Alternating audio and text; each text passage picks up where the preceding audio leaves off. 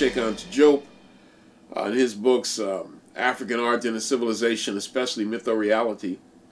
And also perhaps pre-colonial Black Africa, and the other one, Culture Unity of Black Africa, that the Nile Valley was the great population center, or at least it was one of the po population centers.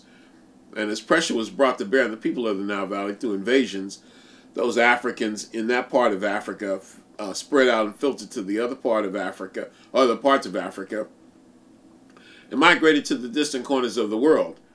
Now, at some point in time, we'll talk at least briefly about migrations. But when you talk about migrations, you have to talk about it in a plural sense.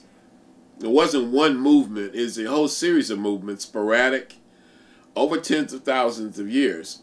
And so that may be the reason that we have pyramidal-like structures in the Western Hemisphere. I think it's safest to talk about those. Uh, in terms of an Egyptian or Nile Valley connection, you have them in um, Mexico, in Guatemala, in Honduras, in Belize.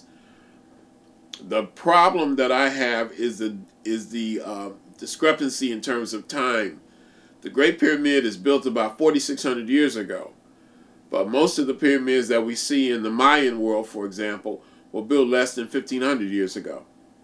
So could it be that was just that it was an ancient tradition brought to the Americas by Africans that continued or is there a connection? Another thing you have to ask yourself is what were the pyramids used for in the Americas?